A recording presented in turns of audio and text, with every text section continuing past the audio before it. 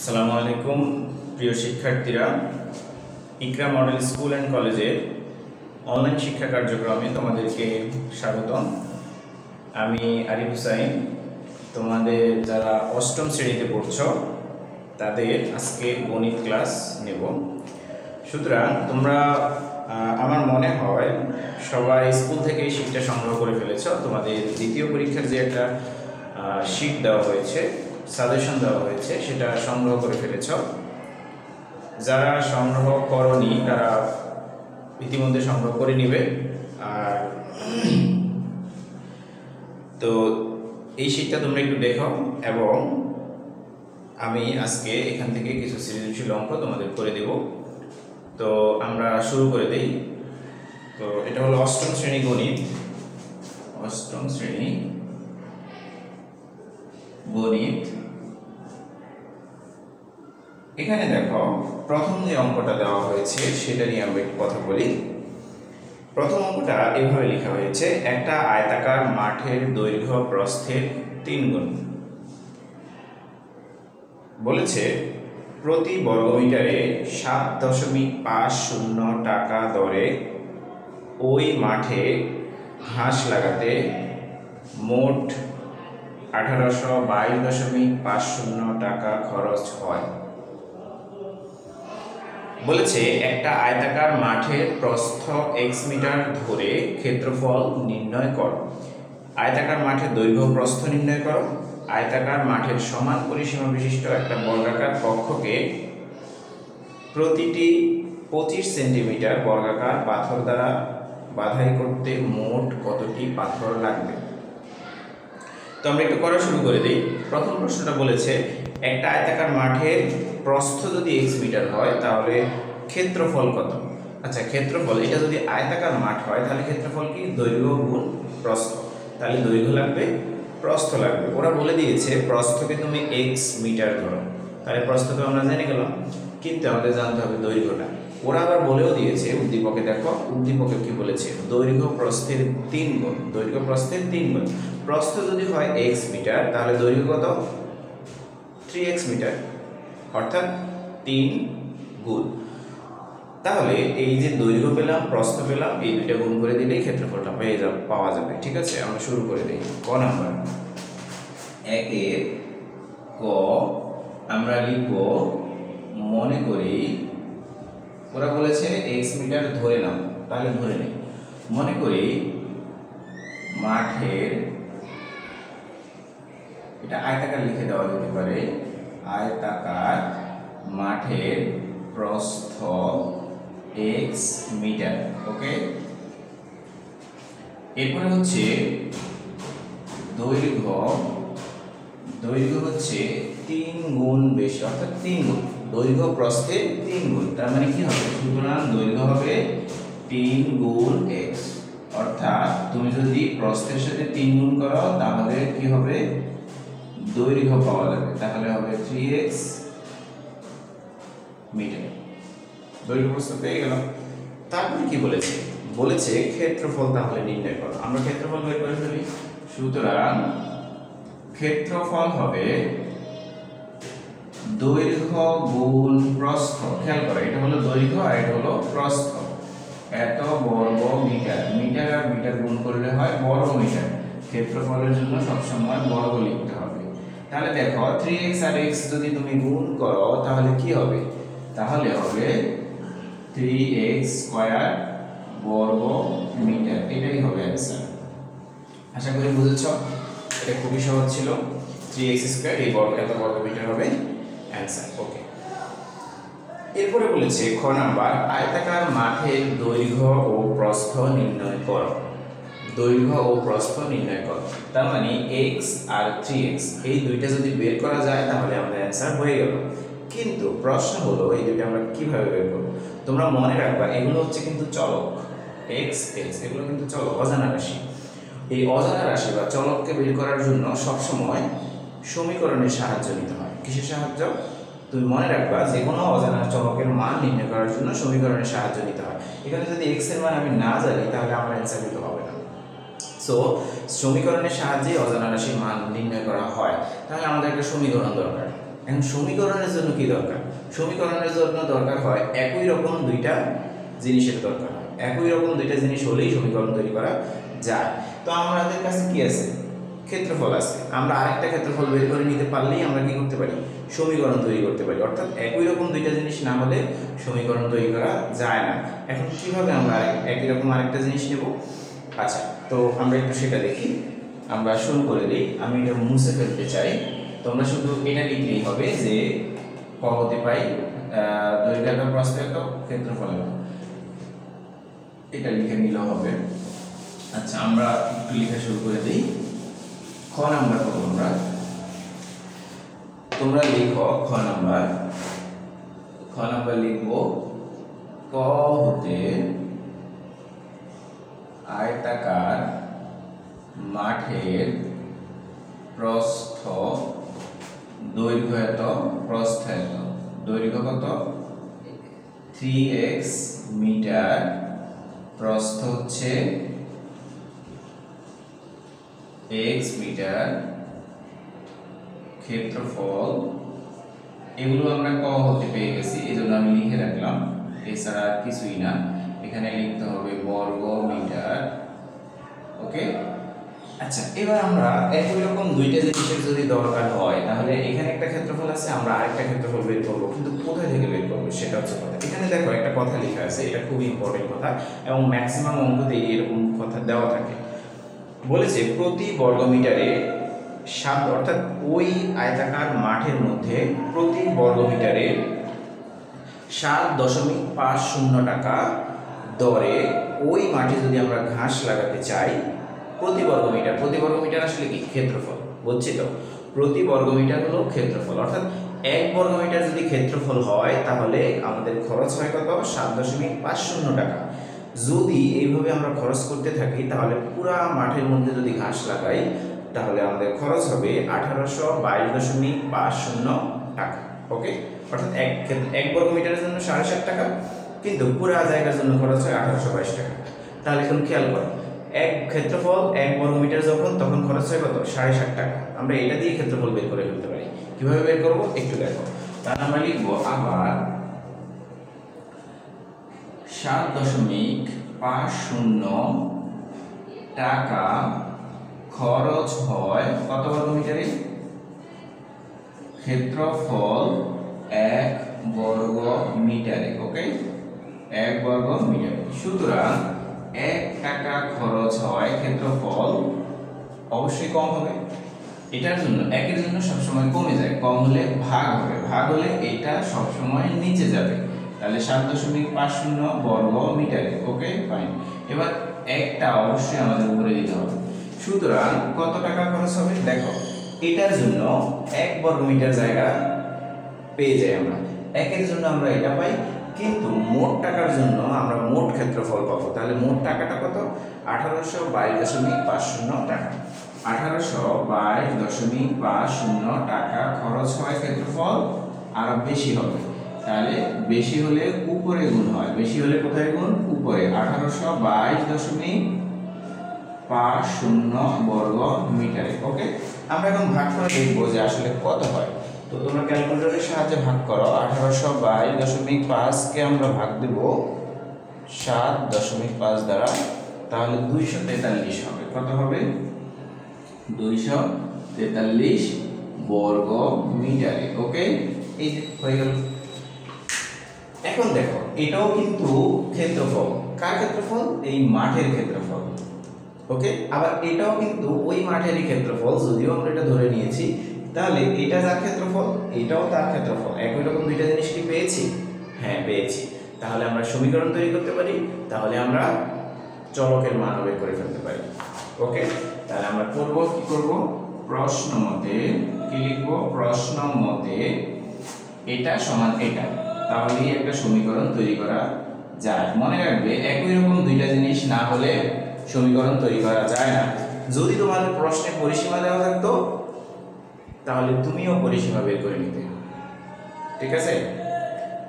পরিসীমা এখান থেকে যদি বের করো, আবার এখানেও যদি পরিসীমা পাও, তাহলে দুইটা দিয়ে সমীকরণ তৈরি করা যাবে।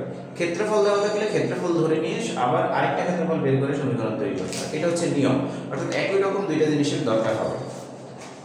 তো দেখো, এখানে তিন আছে কি? গুণ। তাহলে ওই পাশে গেলে কি হবে? ভাগ হয়ে যাবে। তাহলে আমরা কি বলব? আমরা বলব এক্স স্কোয়ার ইকুয়াল টু দুইশত তেতাল্লিশ বাই তিন বা এক্স স্কোয়ার ইকুয়াল টু যদি দুইশো তেতাল্লিশকে তুমি তিন দ্বারা ভাগ করো, তাহলে রেজাল্ট হবে একাশি। ওকে? তুমি হিসাব করো। স্কোয়ার যদি আমরা বাদ দিই, তাহলে অবশ্যই দুই পাশে কি করা উচিত? বর্গমূল করা উচিত। দুই পাশে আমাদের কি করতে হবে? বর্গমূল করতে হবে। যদি এই পাশে আমরা বর্গমূল করি, তাহলে আমাদের এক্সের মান দাঁড়ায় নয় নয় একাশি। দেখো এক্সের মান নয় মানে কি? এক্সের মান নয় মানে প্রস্থ হচ্ছে নয় মিটার, ওকে? এখানে এক্সের মান বসালে কত হবে? নয় মিটার। তাহলে আমরা প্রস্থ পেয়ে গেছি। আমরা কি লিখব? সুতরাং প্রস্থ নয় মিটার। আর দৈর্ঘ্যটা কি বলতো? দৈর্ঘ্য হচ্ছে তিন গুণ বেশি। সুতরাং, এবং দৈর্ঘ্য হবে, এবং দৈর্ঘ্য হবে তিন গুণ নয় এত মিটার সমান হচ্ছে সাতাশ মিটার। ওকে? ফাইন হয়ে গেল। এভাবে আমরা অঙ্কটা করে ফেলতে পারি। খ নাম্বার করেছি, এবার গ নাম্বার করব। দেখো বলেছি কি? তোমাদের শীটের মধ্যে প্রশ্ন অবশ্যই মিলাবে, না হলে তোমরা বুঝবে না। এখানে আছে, আয়তাকার মাঠের সমান পরিসীমা বিশিষ্ট একটা বর্গাকার কক্ষকে। কি বলেছে? একটা আয়তাকার মাঠের সমান পরিসীমা, অর্থাৎ এই আয়তাকার মাঠের যেই পরিসীমা, সেই পরিসীমাটা যদি একটা বর্গাকার কক্ষের হয়, তাহলে ওই বর্গাকার কক্ষটা পাথর দিয়ে বাধাই করতে চায়। বলছে কয়টা পাথর লাগবে? ওকে? আসলে কথাটা সহজ। তো এখানে একটা জিনিস এক নম্বর করব, সেটা হলো কি? প্রথমে মাঠের পরিসীমা বের করব, সেটা কাকে দিয়ে দেবো? আয়তাকার, বর্গাকার কক্ষকে। প্রথমে মাঠের পরিসীমা, সেটা কাকে দেব? বর্গাকার কক্ষকে দেবো। কেন? ওরাই বলেছে যে এটার পরিসীমা আর ওইটার পরিসীমা সমান। তাহলে আমরা আগে পরিসীমা বের করি। পরিসীমার জন্য কি লাগে? দৈর্ঘ্য আর প্রস্থ। দৈর্ঘ্য আর প্রস্থটা আমরা আগে লিখে নিই। তো আমরা লিখব, আমরা লিখি যে খ হতে পাই, আমরা লিখব খ হতে পাই, দেখো, তোমরা লিখে ফেলো, পরিসীমাটা বের করে ফেলো। কেন? কারণ হচ্ছে এই পরিসীমাটাই আমরা আরেকটাকে দিব গ নাম্বার। আমরা লিখব খ হতে খ হতে খ হতে কি বলতো খ হতে মাঠের দৈর্ঘ্য, দেখো সাতাশ মিটার, এটা আমরা লিখি, সাতাশ মিটার। এরপর হচ্ছে প্রস্থ হচ্ছে নয় মিটার, ওকে? এবার আমরা কি করব? সুতরাং পরিসীমা, দেখো পরিসীমা কীভাবে বের করে? আমরা কিন্তু জানি আয়তাকার যে আয়তাকারের পরিসীমা কি? আয়তাকার পরিসীমার নিয়ম হচ্ছে দুই গুণ দৈর্ঘ্য যোগ প্রস্থ। দুই সূত্রটা কি? দুই গুণ দৈর্ঘ্য যোগ প্রস্থ। তাহলে দুই গুণ দৈর্ঘ্য হচ্ছে সাতাশ, প্রস্থ হচ্ছে নয়। এত মিটার হলো অ্যান্সার, ওকে? তাহলে দুই গুণ সাতাশ আর নয় যদি বড় হয়, তাহলে ছত্রিশ ছত্রিশ গুণে বাহাত্তর। এত মিটার হবে অ্যান্সার। এটা হলো পরিসীমা। বলছে, মাঠের পরিসীমাটা কার সমান? বর্গাকার কক্ষের সমান। মাঠের পরিসীমা বর্গাকার কক্ষের সমান। তাহলে এখন মাঠের পরিসীমা পেয়েছি, এটা কাকে দিয়ে দেব? বর্গাকার কক্ষকে। তাহলে আমরা বলব বর্গাকার কক্ষের পরিসীমা কত? বাহাত্তর মিটার। বর্গাকার কক্ষের পরিসীমা হবে বাহাত্তর মিটার। তাহলে লিখব, সুতরাং বর্গাকার কক্ষের পরিসীমা বাহাত্তর মিটার। অর্থাৎ ওরাই বলেছে মাঠের পরিসীমা যা বর্গাকার কক্ষের পরিসীমা তাই হবে। আমরা লিখেছি, অসুবিধা নেই। আচ্ছা এবার আসো। বর্গাকার কক্ষে কি লাগাতে চাই? পাথর লাগাতে। এটা হচ্ছে মূল অঙ্কটা। আমরা এখন, মনে করো আমরা মাঠের ক্ষেত্রফল ভুলে গেলাম, মাঠ বলে কিছু নেই। আমরা পরিসীমা জানি বর্গাকার কক্ষের সেখানে আমরা কি লাগাতে চাই? পাথর লাগাতে চাই, তবে কয়টা পাথর লাগবে? এখন আমরা সেটা জানতে চাই। ওকে ফাইন এটা খুবই সহজ। মনে রাখবে, কোনো কিছুর মধ্যে যদি কোনো কিছু লাগাতে চায়, ধরো মেঝের মধ্যে টাইলস লাগাতে চায় রাস্তার মধ্যে ইট লাগাতে চায়, দেওয়ালের মধ্যে ইট লাগাতে চায়, অথবা কোনো কিছুর মধ্যে কোনো কিছু লাগাতে চায়, সেটা পাথর হোক বা যে কোনো কিছু হোক, তাহলে তোমার দুইটা কাজ করতে হবে। কি কাজ? প্রথম কাজ হলো, যেখানে লাগাবা তার ক্ষেত্রফল বের করতে হয় তারপর, তারপরে বের করতে হয় যাকে লাগাবো তার ক্ষেত্রফল। আবার বলি, যেখানে লাগাবো তার ক্ষেত্রফল বের করতে অর্থাৎ আমি যদি মেঝে লাগাই তাহলে মেজের ক্ষেত্রফল লাগবে, ওকে? আর যদি পাথর লাগাতে চাই তাহলে পাথরের ক্ষেত্রফলও লাগবে, ওকে? সব সময় এই কাজ করতে হবে। তোমার প্রথম কাজ হচ্ছে যার মধ্যে লাগাবো তার ক্ষেত্রফল। এখন কোথায় লাগাবো? এই বর্গাকার কক্ষের মধ্যে, কক্ষের মেঝের মধ্যে লাগাবো, ওকে? তাহলে কক্ষের ক্ষেত্রফল আমাদের দরকার। মনে থাকবে? কক্ষের ক্ষেত্রফল বের করতে হবে। ওকে তাহলে ক্ষেত্রফল বের করার নিয়ম কি? বর্গাকার কক্ষ। ক্ষেত্রফলের সূত্র কি বর্গাকার কক্ষে? ক্ষেত্রফলের সূত্র হচ্ছে এক বাহুর দৈর্ঘ্য হোল স্কয়ার। এক বাহুর দৈর্ঘ্য হোল স্কয়ার করলে কি হয়? বর্গাকার কক্ষের ক্ষেত্রফল পাওয়া যায়। ওকে এখন এক বাহুকে আমি জানি? জানি না এখানে তো পরিসীমা দেওয়া। এক বাহু কোথায় জানি? জানি না।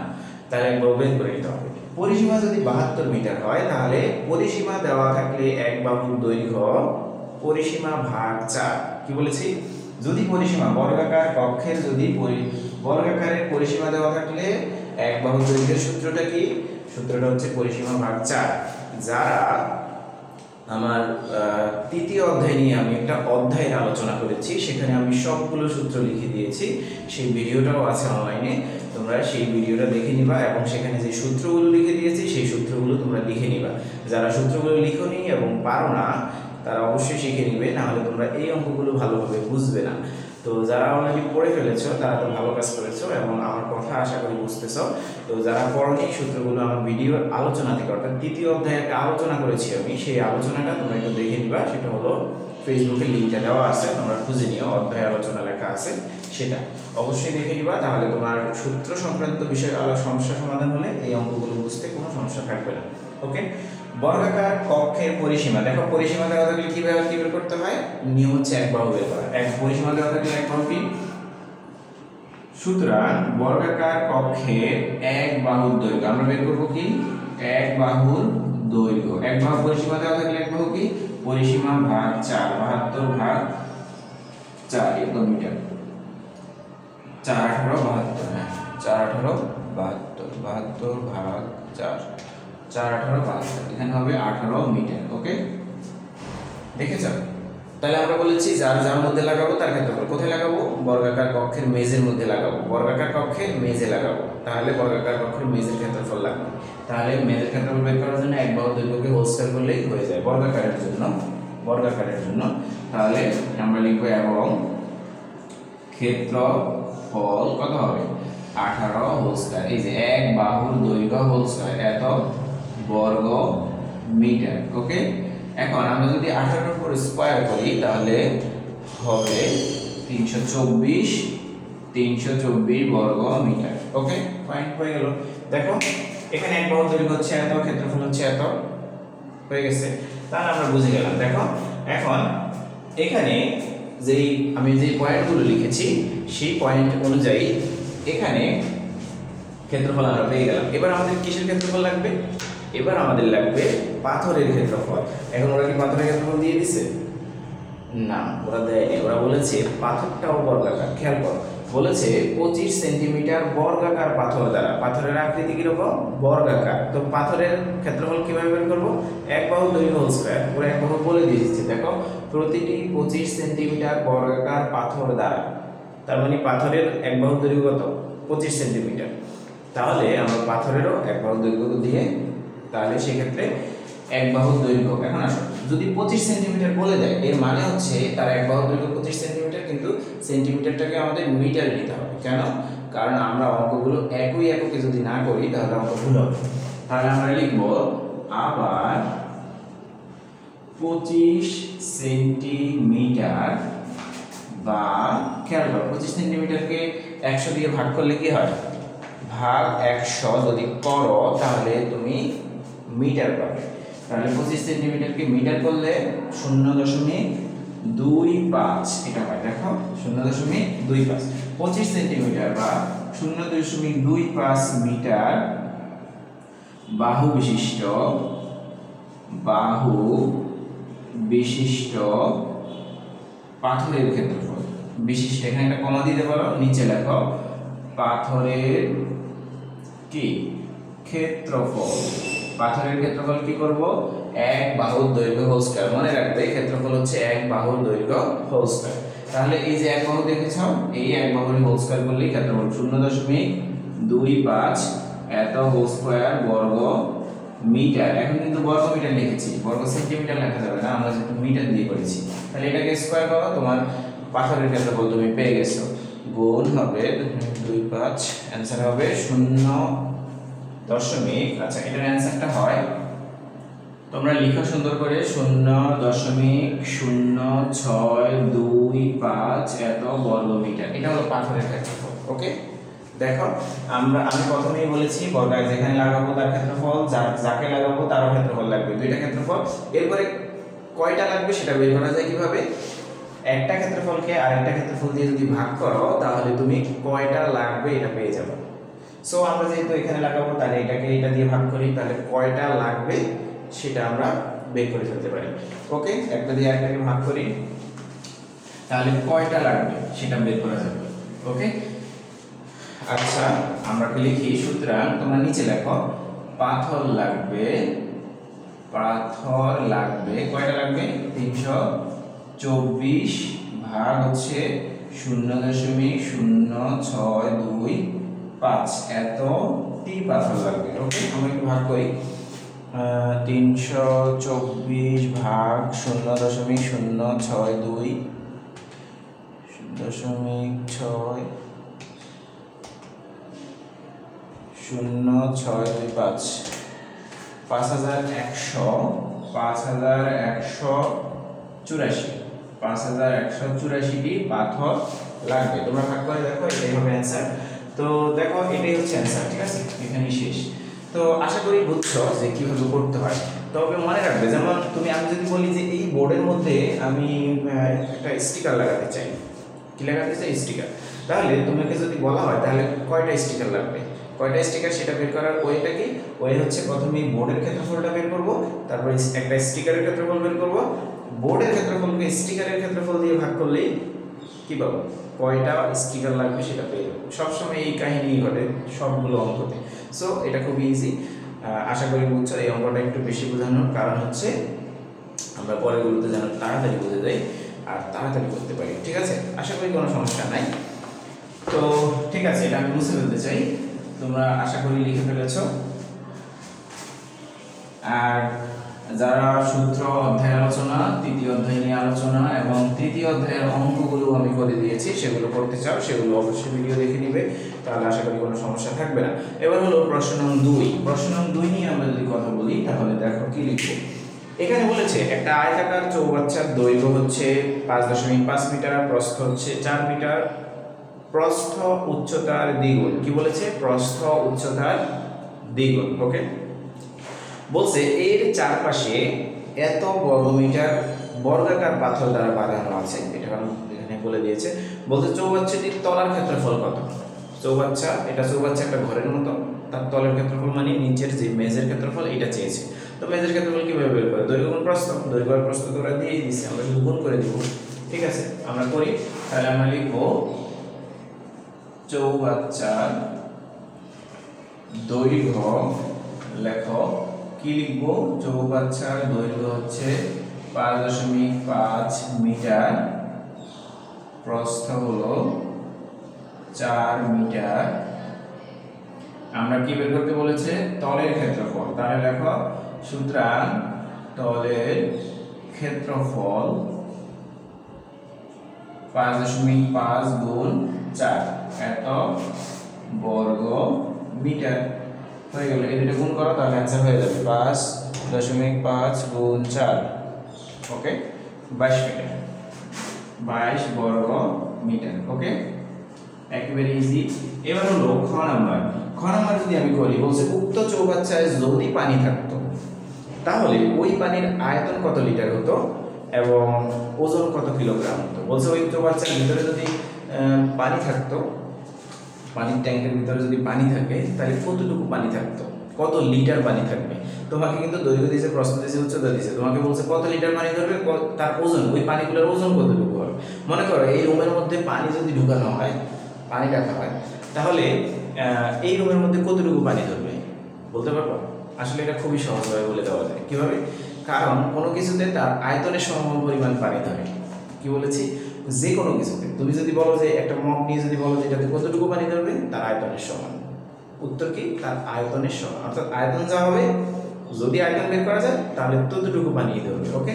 তাহলে ওই চৌবাচ্চা কতটুকু বানিয়ে ধরবে? তার আয়তনের সমান। আমরা আগে আয়তন নির্ণয় করি। তারপরে আমরা বলে দিতে পারব ততটুকু বানিয়ে ধরবে, ওকে? শুরু করি। খ নম্বর। তাহলে দৈর্ঘ্য আর প্রস্থ তো আমরা জানি অলরেডি আমরা লিখে ফেলি যে চৌবাচ্চার দৈর্ঘ্য পাঁচ দশমিক পাঁচ মিটার। আচ্ছা আমরা এটা মুছে ফেলি, এটা মুছে আমরা ওখান থেকে শুরু করি হ্যাঁ? এটা বাদ। আচ্ছা এটা আমরা খ নাম্বার করছি, খ। আমরা বলেছি আগে আমরা আয়তন নির্ণয় করব। চৌবাচ্চার দৈর্ঘ্য এত প্রস্থ এত। কিন্তু ওরা উচ্চতা সরাসরি দেয় নাই। কি বলেছে? উচ্চতা সরাসরি না দিয়ে ওরা বলে দিয়েছে, প্রস্থ উচ্চতার দ্বিগুণ। কি লিখেছে? আবার প্রস্থ, দেখো এটা উদ্দীপকে দেওয়া আছে, প্রস্থ উচ্চতার দ্বিগুণ, তাহলে আমরা এখান থেকে দিক উচ্চতা বের করে নিই। সুতরাং উচ্চতা, এবার বলো উচ্চতা কি হবে? বলছে প্রস্থ উচ্চতার দ্বিগুণ, প্রস্থ উচ্চতার দ্বিগুণ, কিন্তু আমরা তো উচ্চতা বের করতে চাই প্রস্থ তো বের করতে চাই না, কারণ প্রস্থ তো আমরা জানি। আচ্ছা প্রস্থ উচ্চতার দ্বিগুণ হলে উচ্চতা প্রস্থের কি হবে? প্রশ্ন, বলতে পারবা? প্রস্থ উচ্চতার দ্বিগুণ হলে উচ্চতা প্রস্থের কি? অর্ধেক। প্রস্থ প্রস্থ উচ্চতার দ্বিগুণ যদি হয়, তাহলে উচ্চতা প্রস্থের কি হবে? অর্ধেক। যদি বলা হয় দৈর্ঘ্য প্রস্থের তিন গুণ তাহলে প্রস্থ দৈর্ঘ্যের কি হবে? তিন ভাগের এক ভাগ। খুবই সহজ এগুলো আসলে। এই জিনিসগুলো একটু তোমাদের বোঝা উচিত যে প্রস্থ উচ্চতার যদি দ্বিগুণ হয়, তাহলে উচ্চতা প্রস্থের কি? অর্ধেক। তাহলে দুই দিয়ে ভাগ করলেই তো অর্ধেক হয়ে যায়, তাই না? তাহলে প্রস্থকে যদি দুই দিয়ে ভাগ করি, তাহলে উচ্চতা পাওয়া যাবে তাহলে ভাগ করি। কত হয়? দুই মিটার। ওকে, আশা করি বুঝছ, এটা খুবই সহজ ছিল। আমরা বলেছি আয়তনের সমান পানি ধরে, তাহলে অ্যান্সার হয়ে গেল। ঠিক আছে, আমরা সেটাই করি। সুতরাং চৌবাচ্চার আয়তন কত হবে? আমরা জানি আয়তন সমান দৈর্ঘ্য, গুণ প্রস্থ, গুণ উচ্চতা হয়ে গেল। এত কি হবে? আ- আয়তনের একক কি বলতো? ঘন লিখতে হয়। মিটার হলে মিটারও লিখতে হবে। এত ঘন মিটার। তাহলে আমরা একটু গুণ করে ফেলি। পাঁচ দশমিক পাঁচ গুণ হবে চার গুণ দুই। চুয়াল্লিশ ঘন মিটার কত চুয়াল্লিশ ঘন মিটার, ওকে? চুয়াল্লিশ ঘন মিটার হবে। তো এতটুকু পানি ধরবে, ঠিক আছে। কিন্তু আমাদের বলেছে কত লিটার পানি ধরবে তোমরা ঘনমিটারকে লিটারে অলরেডি যারা ওই অধ্যায় আলোচনা লিখেছো, তারা অবশ্যই জানো যে ঘনমিটারকে কীভাবে লিটার করে। একটা সম্পর্ক লিখলেই হয়ে যায়, এক ঘনমিটার সমান হচ্ছে এক হাজার লিটার, এক ঘনমিটারে এক হাজার লিটার। আমরা এটা লিখি, আমরা এটাকে লিটারে এককে প্রকাশ করতে হবে? ঘনমিটার বললে হবে না। আমরা লিখব, আমরা জানি, আমরা কি জানি বলতো? আমরা জানি এক ঘন মিটার সমান হচ্ছে এক ঘন মিটার সমান হচ্ছে এক ঘন মিটার পানি সমান এক হাজার লিটার, অথবা এক ঘন মিটার পানির আয়তন। এখানে আয়তন লিখতে পারো। এক ঘন মিটার পানির আয়তন এক হাজার লিটার, ওকে? এটা লেখা যায়। সুতরাং কত ঘনমিটার? চুয়াল্লিশ ঘনমিটার। চুয়াল্লিশ ঘনমিটার পানির আয়তন অবশ্যই কি হবে? বেশি হবে। বেশি হলে কি হয়? চুয়াল্লিশ গুণ এক হাজার এত লিটার সমান হবে সমান হবে চুয়াল্লিশ হাজার লিটার, ওকে? তো হয়ে গেল। চুয়াল্লিশ হাজার লিটার পানি ধরে ওই ঘরের ওই ট্যাঙ্কটার মধ্যে চুয়াল্লিশ হাজার লিটার পানি ধরে এখন তুমি যদি বলো যে তোমার এই রুমের মধ্যে কতটুকু পানি ধরবে? কতটুকু ধরবে? তার আয়তনের সমান। তুমি এটা দৈর্ঘ্য মাপো। প্রস্থ আর উচ্চতা মাপো গুণ করো তুমি বলে দিতে পারবে কতটুকু পানি ধরে। বুঝছি? আসলে অনেক সহজ। বলছে এটার ওজন কত? ওজন কত? আচ্ছা ওজনটাও খুব ইজি যত লিটার তত কেজি হচ্ছে ওজন। আমি একটু এইভাবে লিখলে হবে না। আমরা লিখব, আবার কি লিখব বলো তো আবার এক লিটার এক লিটার পানির ওজন এক কিলোগ্রাম এক কিলোগ্রাম এক লিটার পানির ওজন এক কেজি, এক লিটার পানির ওজন এক কেজি। তাহলে চুয়াল্লিশ হাজার লিটার ওজন কত? চুয়াল্লিশ হাজার কেজি। এক লিটারের ওজন যদি এক কেজি হয়, চুয়াল্লিশ হাজার লিটারের ওজন কত? চুয়াল্লিশ হাজার কেজি। সহজ। তাহলে লিখব, সুতরাং চুয়াল্লিশ হাজার লিটার পানির ওজন হবে এক গুণ চুয়াল্লিশ কিলোগ্রাম, চুয়াল্লিশ হাজার কিলোগ্রাম। তাহলে এখানে লিখে দাও চুয়াল্লিশ হাজার কিলোগ্রাম। কিলোগ্রাম মানে হচ্ছে কেজি। চুয়াল্লিশ হাজার কেজি। তাহলে তুমি লিখবা? চৌবাচ্চা পানি ধরে এত লিটার আর তার ওজন হচ্ছে চুয়াল্লিশ হাজার কেজি। ওকে? আশা করি তোমরা সবাই বুঝছ যে এই দুটো অঙ্ক করালাম। তো আমি একটু এগুলো মুছে দিই, কারণ এগুলো আমাদের শেষ হয়ে গিয়েছে। ওকে? শেষ। এবার তোমাদের শীটের মধ্যে পরের প্রশ্নটা তোমরা একটু পড়ে ফেলবে। এটা হলো তিন নাম্বার প্রশ্নটা। একটা একটা একটা সুন্দর চিত্র দিছে। ঠিক আছে? আমি চিত্রটা একটু এঁকে দেখাই তোমাদের। এখানে চিত্রটা অনেকটা এরকম যে বলছে আচ্ছা আমি একটা প্রশ্ন করি। এখানে একটা চিত্র দেওয়ার পরে বলছে এবিসিডি হচ্ছে একটা আয়তক্ষেত্র যার ভিতরে একটা পুকুর আছে যেটার গভীরতা হচ্ছে তিন মিটার। পুকুরটি পানিতে পূর্ণ, একেবারে পূর্ণ। বলছে এবিসিডি এর পরিসীমা কত? এবিসিডি হচ্ছে একটা আয়তক্ষেত্র, তার পরিসীমাটা কত? এটা জানতে চেয়েছে। আসলে অনেক সহজ। তো আমরা পরিসীমাটা বের করতে পারি। দুই গুণ দৈর্ঘ্য যোগ প্রস্থ তো আমরা, আমি একটা চিত্রটা এঁকে রাখি, কারণ এটা আঁকা উচিত আমাদের। আচ্ছা তোমরা সুন্দর করে আঁকো। খাতার পাশে চিত্র আঁকা ভালো। এটা একটা আয়তক্ষেত্র। তো এটা হলো এ বি সি একটা আয়তক্ষেত্র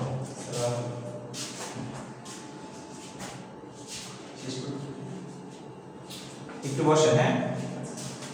আচ্ছা এখানে দেখ এ বি সি ডি হচ্ছে একটা আয়তক্ষেত্র যে, তো এখানে পঞ্চাশ মিটার লিখে দিয়েছে, আর এখানে দিয়েছে কত? চল্লিশ মিটার, ওকে? এখানে দিয়েছে পঞ্চাশ মিটার, এখানে দিয়েছে চল্লিশ মিটার। এটা দিয়ে বোঝাচ্ছে দৈর্ঘ্য পঞ্চাশ মিটার, এটা দিয়ে বোঝাচ্ছে প্রস্থ চল্লিশ মিটার ওকে বলছে এটার ভিতরে তিন মিটার গভীরতা বিশিষ্ট একটা পুকুর আছে। তো পুকুরটা এইভাবে আঁকা হয়েছে, এই যে এটা হলো আয়তক্ষেত্রের ভিতরে থাকা একটা পুকুর। যেখানে যেখানে এটার পাড়ের প্রস্থ হচ্ছে পাঁচ মিটার, অর্থাৎ পুকুরের যে পাড়টা রয়েছে, দেখো, এই যে পুকুরের যে পাড় দেখো তুমি, সেই পাড় হচ্ছে কত মিটার? এখানে সব দিকে হচ্ছে পাঁচ মিটার করে পাড় রয়েছে ওকে মানে চওড়া হচ্ছে পাঁচ মিটার। ওকে আশা করি চিত্র বুঝছ। এটা হলো দৈর্ঘ্য এটা হলো প্রস্থ এটা হলো পুকুরের পাড় যে পুকুরটা ভিতরে আছে এই হলো পুকুর। তবে এটার গভীরতা দেখানো যাচ্ছে না কিন্তু এটার গভীরতা কত? তিন মিটার ওকে পাড় এখন বলেছে এটার পরিসীমা কত? পরিসীমা কি? দুই গুণ দৈর্ঘ্য যোগ প্রস্থ দুই গুণ দৈর্ঘ্য যোগ প্রস্থ যেহেতু আয়তাকার। তাহলে আমরা লিখব তিন নম্বরের ক এখানে লিখব হ্যাঁ, চিত্রে অথবা চিত্রে না লিখে আমরা এভাবে লিখতে পারি এ বি সি ডি আয়তক্ষেত্রে আয়তক্ষেত্রে দৈর্ঘ্য দৈর্ঘ্য হচ্ছে, খেয়াল করো, দৈর্ঘ্য এ বি সমান কত? পঞ্চাশ মিটার। দৈর্ঘ্য এ বি সমান পঞ্চাশ মিটার। আর প্রস্থ কি? বিসি প্রস্থ বিসি সমান কত? চল্লিশ মিটার। প্রস্থ বিসি সমান হচ্ছে চল্লিশ মিটার। তাহলে আমরা কি বের করব? পরিসীমা। পরিসীমা বের করার নিয়ম কি? পরিসীমা বের করার নিয়ম হচ্ছে দুই গুণ দৈর্ঘ্য যোগ প্রস্থ। দুই গুণ দৈর্ঘ্য যোগ প্রস্থ। এত মিটার হবে পরিসীমা। তাহলে দুই গুণ পঞ্চাশ আর চল্লিশ যোগ করলে কত হয়? নব্বই মিটার, ওকে? সমান হবে নয় দুগুণে আঠারো, একশো আশি মিটার। এটা হবে ওই পুকুরের পরিসীমা। পুকুরের না, আয়তক্ষেত্র পরিসীমা।